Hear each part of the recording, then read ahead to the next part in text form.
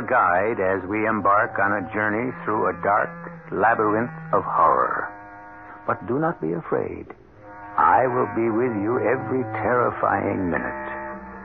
Together we will probe a ghostly shroud of mystery that thus far has concealed a horrible murder. I assure you, you will be in no danger. All that you see and hear takes place in your imagination. You cannot lose your life.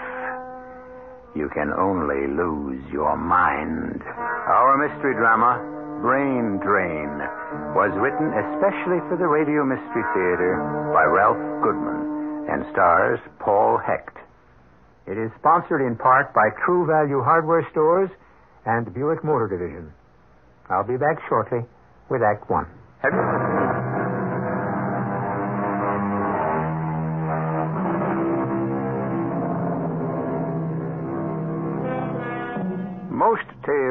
Terror begin just before a gruesome murder is about to take place. Our story begins after the fact.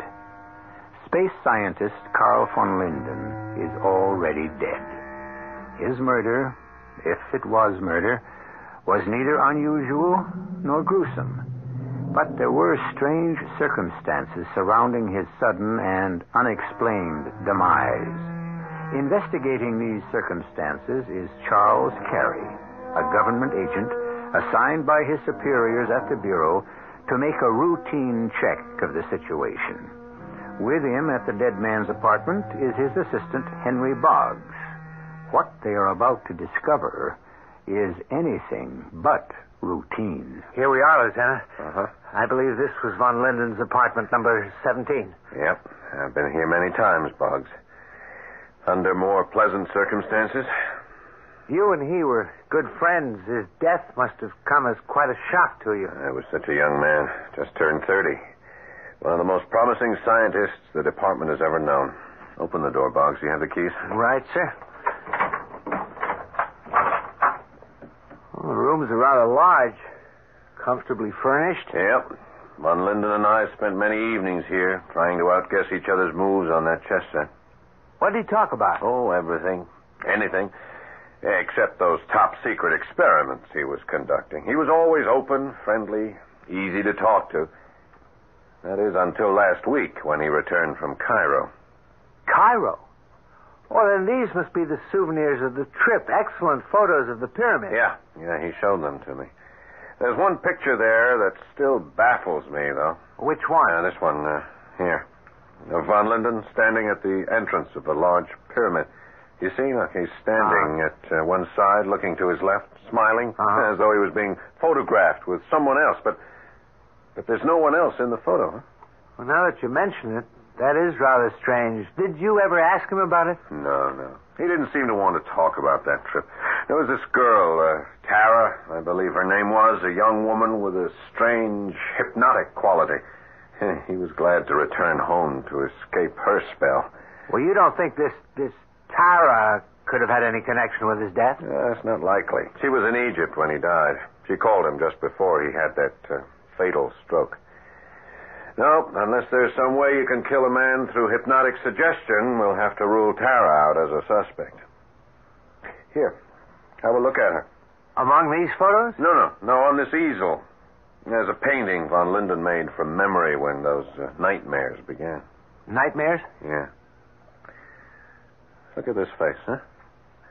Hard to believe someone as beautiful as this could give you nightmares. Oh, fascinating green eyes. Even more startling when contrasted with raven black hair.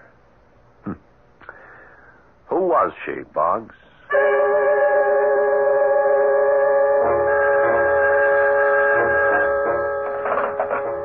Inspector Warren.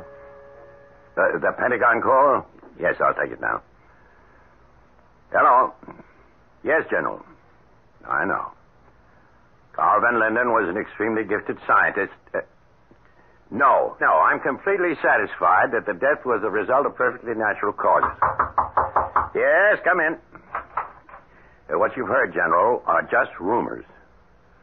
Yes, I see. Well, the Bureau will make that decision. Goodbye.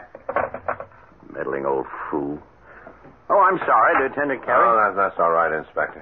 No, I'm, I'm sorry, but I'm here to give you as much trouble as the General. Oh, about what? The death of Carl von Linden. Oh, look, Carey, I know Von Linden was a close friend of yours. But there's no mystery here. I've been going over your file. You've done an amazing job for the Bureau, and we're grateful. Inspector. I've also noticed you hadn't had a day off since last November. Are you suggesting I take a vacation? Oh, there's nothing unusual here. Many men in their prime overwork, buckle up under accumulated pressure, keel over, quite suddenly, as your friend Von Linden did. Inspector, I saw a young man in perfect physical health keel over, as you say, but it wasn't from overwork or accumulated pressure. Harry. I think I understand.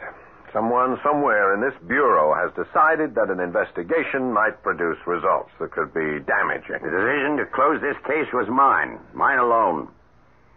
Now, why don't you start that vacation I suggested? Well, if you say so, sir. Good. Then why not start by coming to my home tonight? I'm giving a small dinner to introduce a young lady I've been seeing. Someone I'm rather serious about. Uh, well, if you don't mind, I'd... Oh, you have a date? Fine, bring her. uh, I'm sure Tara would love to meet her. Tara? Well, you've heard me mention her before. No. I mean, yeah, yeah, I, I guess so. There'd be no other reason the name would sound familiar to me. Yes. Well, then you will be there. Eight o'clock? Uh, yes, yes, Inspector. Yeah, I'll be there.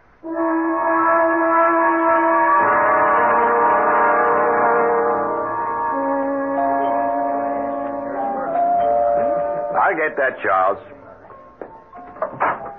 Ah, Carey. Ah, Inspector. Come in. I'm so glad you could come. Thank you. I guess you're out on the patio. Here, let me take your coat. Ah, thanks. I imagine you're anxious to meet Tara, the young woman I told you about. Yeah, yeah, very. Uh, she's quite a bit younger than I am. I, I don't know her age, really. Her beauty seems timeless, and I find her fascinating. Well, you've been a bachelor all your life. I'm sure she must be fascinating. You'll find her exactly as I described her to you. Oh, you never did. Uh, uh, I beg your pardon? Describe her. But if I may, let me. Uh, let me describe her to you. Well, how can you? You've never met her. Well, I'd still like to try. You, uh, you say she's fascinating. Yes. Therefore, her eyes are probably uh, cat-like in quality. I'd say they were uh, green, uh, emerald green. Well, go on. And since her beauty, as you put it, is timeless, she has the translucent Egyptian skin tone, pale by comparison to most women. Uh, milk white. Her hair. Black. Raven black. Bravo! An amazing deduction. I've been standing here in the shadows, and yet this handsome young man has given an intimate description of me. Tara. will you come in, Tara. I'd like you to meet our new bureau expert on extrasensory perception, James Carey. Oh, fascinated, Mr. Carey. Uh, no more than I, Miss. Uh... Just Tara. Call me Tara. Everyone does. Everyone? Oh, now, don't be jealous, darling. Carey, uh, Carey, isn't he the young agent you were telling me about? The uh, friend of that gifted scientist who had that unfortunate heart attack? Oh, my sympathies, Mr. Carey. It was a great personal loss. I understand. And yet the dead are gone. What purpose would it serve to exhume the body and perform an autopsy? You told her of my request for an autopsy, sir? Well, uh, we were discussing the incident briefly. We have no secrets. Well. If we're going to have silly bureau talk, I- I'll return to our guests. I was amused, Mr. Carey, when I entered the room, but if you insist on being intense. No, no, no, no, Tara. Control that temper of yours. Don't leave. I was just trying to explain. Yes, yes, stay, Tara, as a favor to me. Oh, Dr. Kadar, forgive the outburst. I, I did not know you had arrived. I'm sure you did not mean to be impolite. Uh, Mr. Carey, Inspector Warren, this is an old and dear friend of mine, Dr. Stefan Kadar. Ah, welcome to my home, Doctor. I don't believe Tara has mentioned you before. I have been away on a journey. To the Middle East, Doctor? Why do you say that? Oh, the souvenir you wear around your neck. The silver pendant engraved with hieroglyphics. That sapphire set in the center is an ancient Egyptian cat's eye, is it not? You are quite observant, Mr. Carey. Well, Mr. Carey here is one of my staff of government investigators. Investigating what, if I may ask? Oh, nothing. At the moment, Doctor. I'm here as a guest, as you are. But I do find that pendant unusual, almost hypnotic. Can't seem to take my eyes off it. Really? He's right. It is fascinating. It is getting rather late. I merely stopped by to extend my best wishes. Uh, by the way, Mr. Carey, what time do you have? Huh? Time? Oh, uh, that's uh, four four fifteen. Four fifteen in the evening, sir. Oh, I'm, I'm afraid my, my watch has stopped. Has it? I suggest you check his watch, Inspector. Mr. Carey seems confused. Yes, of course. It has stopped. No, no, wait a minute. Good Lord, it's starting again.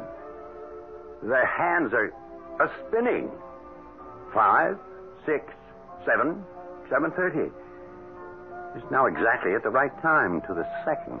Oh, darling, don't look so amazed. I should have warned you. Dr. Kadar is an unusual man with unusual powers. Yes, I'll bet.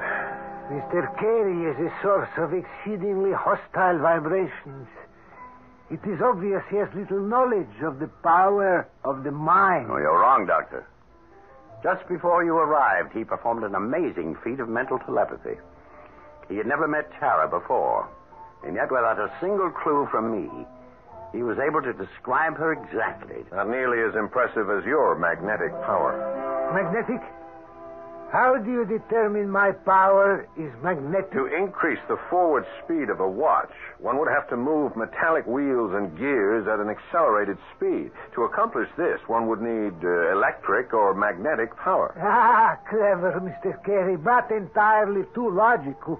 Uh, how would you say this is done? I have no idea. Have you, Carey? No, I don't. Well, forgive my little prank. Uh, Tara, my child, you have my blessing. Thank you, Kadar. I knew you would approve. And now I must bid you good night. Allow me to see you to the door, Doctor.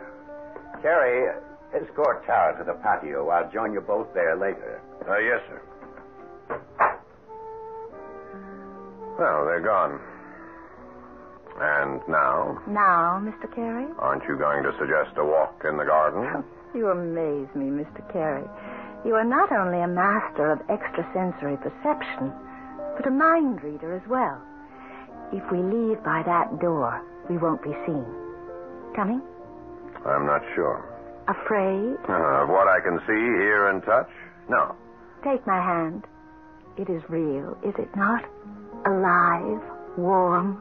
Who are you, Tara? Did my friend Carl von Linden ever truly know? I know of no Carl von Linden. There is a painting in his apartment, a portrait of a face he has seen many times in a dream. Oh, surely not me. Perhaps not. But one thing I do know for sure the death of von Linden was an unnatural occurrence. I promise you his murder will not go unpunished. And those who have done the devil's bidding will spend an eternity in hell.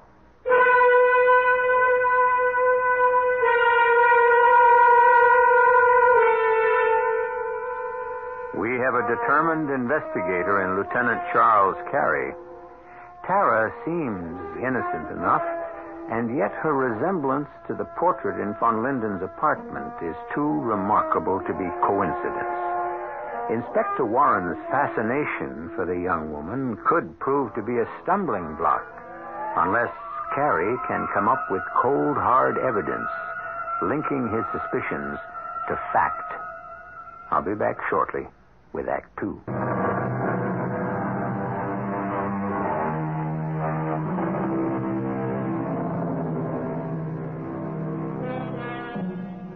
Three days have passed since the untimely death of gifted space scientist Carl von Linden. The night Lieutenant Carey met the beautiful, fascinating Tara, he returned home, troubled, unable to sleep.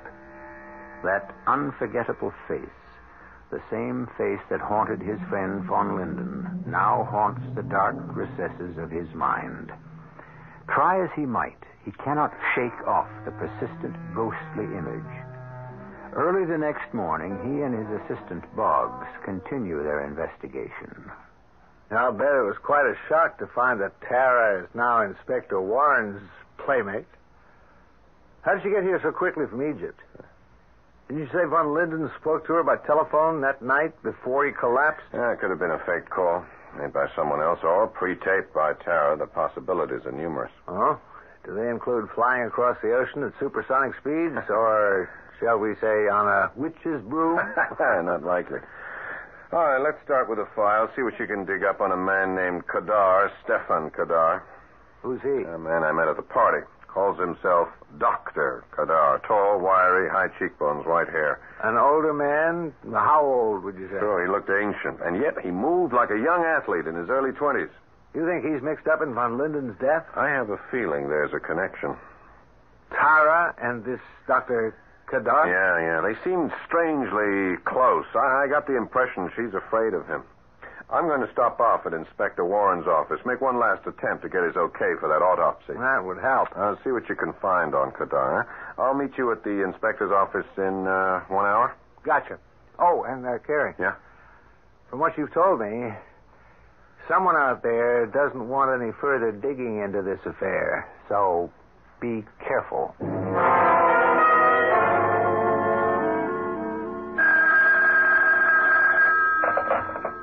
Inspector Warren speaking. Oh, it's you, darling. No, you're not interrupting anything. Lieutenant Carey? No. As far as I know, he's on vacation. Those were my orders. The von Linden case has been officially closed.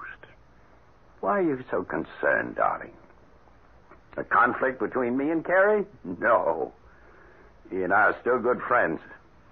It's just that he has a personal interest in this one. And he can be stubborn. That, darling, don't worry. I won't upset myself and I won't overwork. darling, someone's at the door. Yes, yes. See you tomorrow night. Goodbye. Boggs, what are you doing here? Looking for Lieutenant Carey, sir. Isn't he here? Here? No, he's on vacation. Oh, yes, that. Well, he's still disturbed about the Von Linden matter. He said he'd stop by to see you again about that autopsy. He was headed over here an hour ago. Well, that's strange.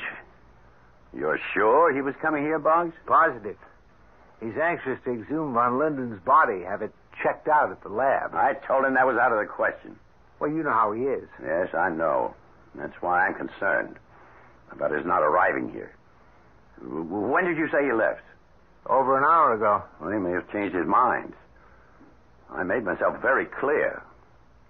There's to be no further investigation, no exhuming of bodies, no autopsies. The case is closed. Yes, I know, but I'm uh, busy, Boggs, if you don't mind. Yeah, but I have a feeling something has happened to the lieutenant. Nonsense. He's always punctual. And he distinctly said I was to meet him here in an hour. For what purpose? I don't know. But he was definite about his instructions. And I tell you, he hasn't been here. Now, I don't want any more about Lieutenant Carey or about the death of von Linden. The investigation is over and the case is closed. The inspector is right, Boggs. Carey. Where have you been, Lieutenant? Walking. Reconsidering. The case. No need. No need for further investigation. I have been mistaken. I'm glad to see you finally come to your senses, Carey. Come to his senses, sir. Look at him. He's lost all sense of time or reality. Look, look at his eyes. Empty, glazed. Lieutenant Carey has been drugged.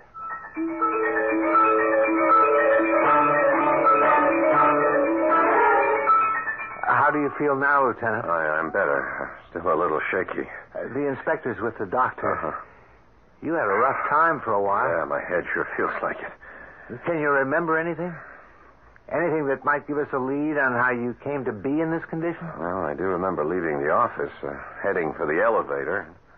On the way, some somebody uh, somebody I haven't seen before said, said there was a call for me in Major Carlson's office. He's been transferred, you remember, to uh, Rhodesia.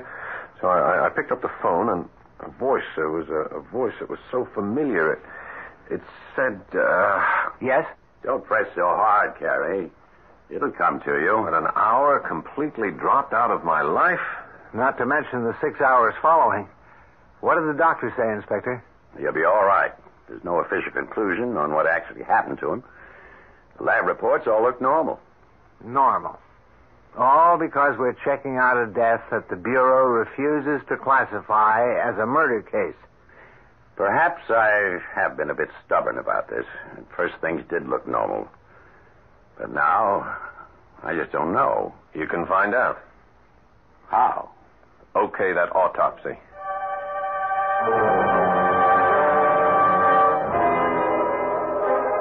You talked me into this, Carey. There better be some evidence coming out of this ghoulish matter of digging up a fresh corpse. Uh, they've raised the coffin, Inspector. Yep. All right, man. Uh, step to one side, huh? The coffin's intact. What now? This is your show, Carey. Do you want it moved to the morgue for the autopsy? Uh, yeah, in a minute. Well, why the delay? I thought you were eager for the report. I am. But with your permission, I'd like them to open the coffin first. Open it here? That's right. Carey, you've been seeing too many horror movies. Exactly what's to be gained by. Uh, all right, all right. Gentlemen, if you please, open the coffin.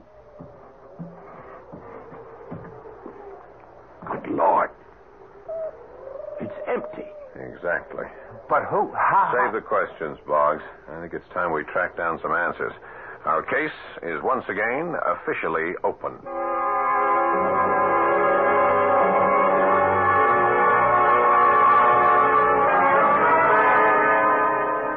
After two days of digging into the files, we don't seem to be any further along than we were before. Nothing on Kadar?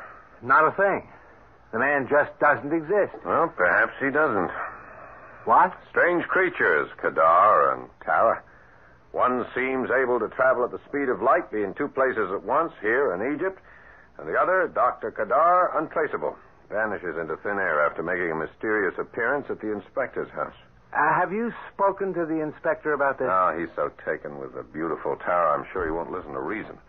Even if we had some facts to reason with. Well, what exactly do we have? Well, Carl von Linden met with foul play, or else his body would not have been removed from that coffin. Jack? And a theory, only a theory, mind you, but the murder of von Linden is part of a pattern. A brain drain that began six months ago, according to some checking I've been doing on my own. Brain drains? Yeah, a series of unexplained deaths of talented scientists. Deaths that have taken place in various parts of the world. I, I don't follow. Uh, here, these clippings from the files of the international press. Possibilities I had expected have turned out to be facts. Which are? Fact number one von Linden, American space scientist, dies suddenly, cause unknown, and his body vanishes mysteriously. Well, that's true, Fact we... number two, reported in this newspaper from Leningrad. Ivan Salkovich, Russian scientist, drowned in the Baltic Sea. Body never recovered. Fact number three, Pierre Chamois, working on top secret biochemical experiments in Paris, trapped in a laboratory fire of unknown origin. Body never found, or never acknowledged to have been found by the French government. Well, that's fascinating, but I fail to see the In link each what... newspaper, there is a mention of a theatrical performance being given that week by a psychic, um, a mentalist, if you will, in the same city where each tragedy has occurred. And his name? Dr. Kadar. Kadar. What's the next step, sir? We're going to follow the trail that's warmest, Boggs. We're going back to that grave site.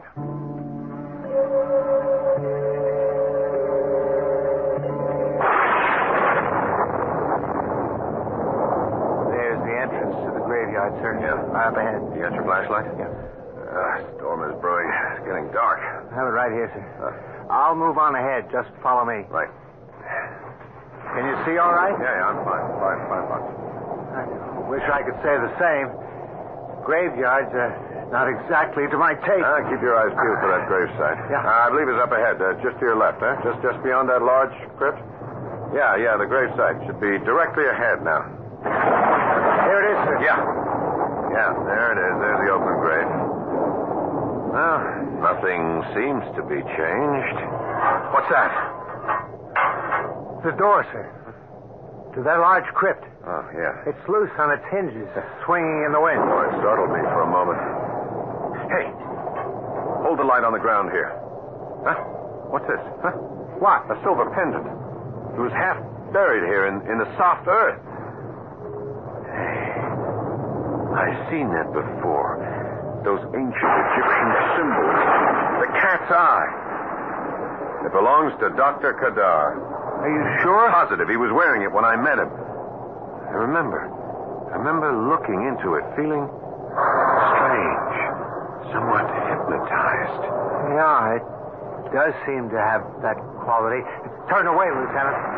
What? I feel controlled by a sort of supernatural presence. Look.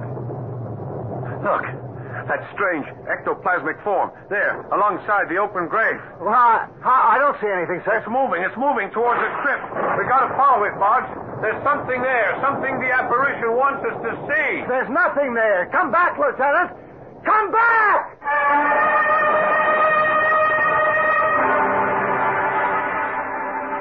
Yes, the mind is a fragile thing. And when it is under pressure, it has been known to conjure up strange, frightening illusions. Did Lieutenant Carey actually see something hovering over the open grave? What strange force has taken control of his will? What lies waiting in that ominous crypt? We'll find out more about this deadly situation when I return shortly with Act Three.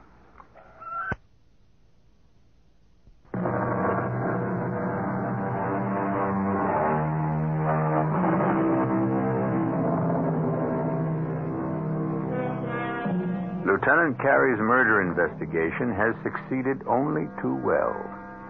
It now looks like it may also succeed in adding the names of both Carey and Boggs to the list of unfortunate souls who have suddenly vanished. The sound you hear is a bubbling brown liquid from which emanates a shower of multicolored sparks. Giant electric coils slither up toward a mirrored ceiling, which is about to reflect an unspeakable evil. We are in a secret underground laboratory located directly up. I've said enough. I am merely your guide. You must complete the journey yourself. Mr. Carey. Uh, Mr. Carey. You can't wake up now. Uh, what? What? Mr. Carey. Uh. Dr. Kadar. Precisely. I'm flattered you remember me. You are most kind, particularly for returning my pendant. For that favor, I have spared your life and the life of your equally annoying and meddling friend, Mr. Boggs. Boggs, where, where is Boggs? Where is he? Lying right beside you, Mr. Carey. Asleep as you were but a few moments ago. I assure you he is all right. Wake him. Come on, bring him around as you did me. Certainly, as a show of good faith. Here. Here is my silver pendant. If you will merely press the eye to his forehead. He looks so pale. Boggs. Boggs, are you all right? Uh, yes, Lieutenant, I, I think so. Uh, where are we? In an underground lab of some sort. Quite correct. Still in the graveyard, gentlemen, directly under the crypt. You both descended the hidden stairs inside the tomb at my bidding. I think it is time I let you in on my little secret and put an end to your curiosity. Who are you? Why have you brought us here? Please, Lieutenant, don't don't ask any more questions. Uh, you smell the air? Acrid fumes. That's an acid of some sort bubbling in those tanks. Aha, you are right, Mr. Carey. Uh, but uh, they are not for you. Those tanks are much too small to encompass a full grown man. If you will look more closely, you will see they're merely the size of your head. Uh, besides, they are already filled. Filled? With what? That, gentlemen, is my secret. If you will both follow me to this electronic panel, I use it as a control board. control. To control what? Uh, this way, if you please. As a friend of Dr. Karl von Linden, you will be interested in what I have to show you. Von Linden. Yes. And Pierre Chamois. And Professor Salkovich as well. Are you implying that these three acid tanks have something to do with the three men who have been murdered? Murder? That's strong word, Mr. Carey. I have murdered no one. The men I have made reference to are still alive. Alive. Von Linden, Chamois, and Salkovich alive? In a medical sense, yes. When a man drowns or is horribly burned in a mysterious holocaust or merely collapses from sudden increase in heart rate, he is not necessarily dead. His body may be rigid, completely immobile, as these three you see here in this hermetically sealed glass case. Von Linden. And the other two must be Chamois and Salkovich. But as long as the brain continues to function, medically, a man is still alive. These three gruesome corpses alive? Come, gentlemen, you are looking in the wrong direction. Here are von Linden, Chamois, and Salkovich.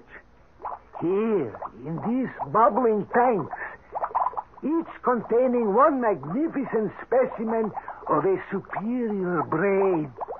A living brain, if you will, kept alive by me. You go. Careful, Boggs. He's got his hand on that control panel. Ah, electric charge. He's not. No, no, no, no, not- no, no, no, just stunned. He will be all right, but uh, that was rather foolish. But where did that bolt of power come from? That? Oh, that was through the courtesy of Mr. Chamois.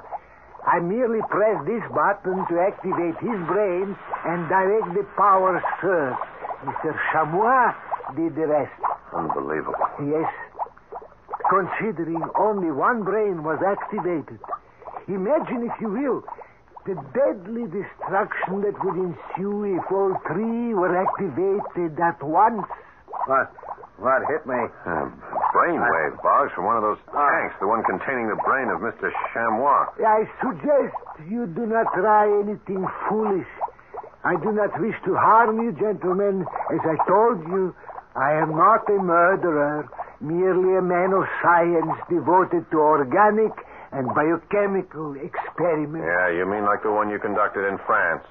The explosive gas, one that causes laboratories to go up in flames? One of my minor efforts. Actually, it's a refinement of the ancient Egyptian fire. The container need not be cumbersome. A small lead-encased perfume vial set to go off at the precise moment. Yeah, we already know the way it worked on Professor Chamois. Ah, the poor fool. He was too in love with my beautiful Tara. Her perfume spray left in his coat pocket.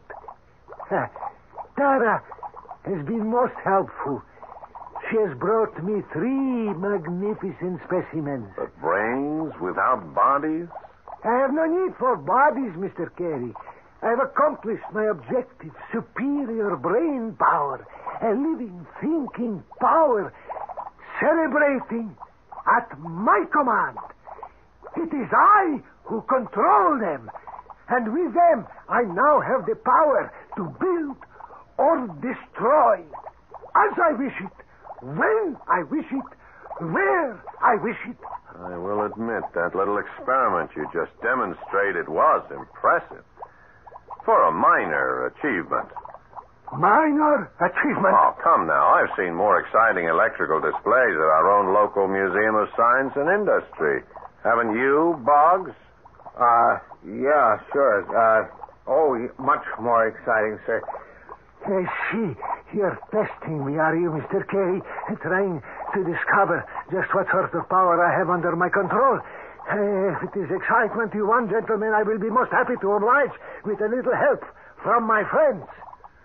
Professor Salkovich. A shower of white hot sparks, if you please, blocking the door in case our visitors decide to make hasty exit in the middle of the show. Good Lord. Will you look at that? Keep back. Keep back, Boggs. Now you, Dr. Von Linden, and little sharp laser beam, blue liquid fire, separating our two guests. Hold them prisoner. Each stays on side of the roof. Ah, watch it, Boggs. Jeez, that was too close for comfort. And now, once again, I call on you, my good chamois. Repeat your past performance. Strike Mr. Boggs with a kinetic bolt of current. This time, increasing the power to killing a crazy. No, no, wait. Stop. Stop. You've proven your point. Dr. Kadar, we've seen enough. I hear you, Mr. Carey. And so it seems of Salkovich, Chamois, and von Linden. The electrical display, as you put it, is over. I must admit, that was. that was really something. Thank you. It has not been easy to develop this violence. These men are peaceful by nature. At times they resist and are not easy to control. You mean you shock them? That's how you control them? With embedded heated electrodes. They have no love for me, my three professors, but they obey. And soon I will have more, more corpses, more brains. And that's where Tara comes in. Yes, most beautiful child. But like most beautiful women, she has an insatiable need for power. Which you provide. But why has she bestowed her gifts on Inspector Warren, huh? Inspector Warren was not chosen for his brain, but for his social contacts in your space program. He has had his uses. Had? At this very moment, Tara is placing a small vial in his coat pocket. The incendiary charge is set to go off at midnight. Then she's safely out of range of the deadly Egyptian fire. And the newspapers will report another unfortunate accident. Exactly. It is just past 11.30. Ah, you're not thinking of anything heroic right now, are you, Mr. Carey? No. No, I was thinking about your three captive professors, how they must hate you. Hate me? Yeah, well, they must know what you have done to them, how you torture them, and for what purpose. What if they were to make a concerted effort to fight back? How much damage do you think they could do? Huh? The thought is too fearful to contemplate. But what if they try, Doctor, and succeed in wresting control from you? It's impossible. I am in full control. Well, then there is no harm in my urging them on, is there? Carl, do you hear me? Join forces with your tortured colleagues. Combine your mental powers. Rid yourselves of this madman once and for all. Ah! Stop! Stop! You are confusing No, us. I don't think so, Doctor. I think they know exactly what they are doing. The beam! The laser beam! No, no, von Linden! Stop! Stop! Hey, he's turning that missile beam towards me! Yes, that's it, Carl. One surge of power. Destroy it all, and you're free. Ah, the fire! Ah, it's blinding! Ah! The vials, sir. They're all exploding. Run for it, Boggs. Run for it, or we'll never get out of here alive.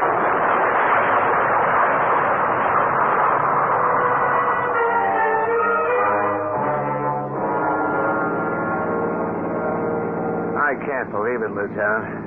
That chamber of horrors, it was like a nightmare. Keep your eyes on the road, Boggs. Getting close to midnight. Yeah. Ah, there's the house up ahead. Quick, pull into the driveway. Yes, sir. And there's Tara, just coming out on the porch. We made it. Inspector Warren is Yeah, with us. Okay, turn your lights off. We'll move in slowly. Right, sir. It isn't likely that hidden vial will go off while she's still with us. Well, I wouldn't bet on it. A madman like the late Dr. Kadar was capable of anything. Okay, stay in the shadows. You've really been a delightful guest, darling. But really, you mustn't stay any longer. I'd never bear to leave you. But it's almost midnight. I'd love for you to stay, but Would you, Tara? Carey. And Boggs. What are you two doing here? I'll explain in a minute, Inspector. Give me your coat. My coat? Yeah, that, that won't be necessary. Yeah, I found what I want here in your pocket. Paris perfume vial. You're mistaken, Mr. Carey. That vial is not mine. Oh, but it is, darling. I recognize the scent. Please step back. What are you doing? I'm going to throw this vial as far as I can across the highway into that open field. What was in that? It is the heat. it's. What chemical could cause that explosion? We'll never know, sir. We'll never know.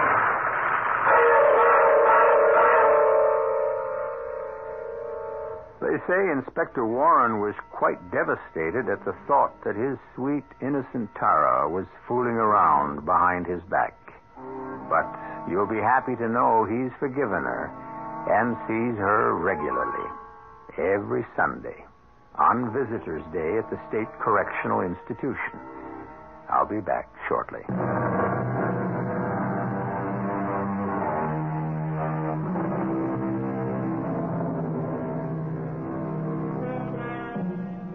Most crime stories have a message.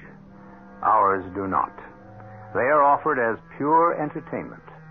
But for those who insist on a message, we offer you a choice of two. For the good guys, we have a word of caution. When it comes to a romantic liaison with a beautiful woman, look before you leap. It could be a matter of love or death. And to the bad guys, a word of advice from Oscar Wilde, who warns murder is always a mistake. One should never do anything one cannot discuss after dinner.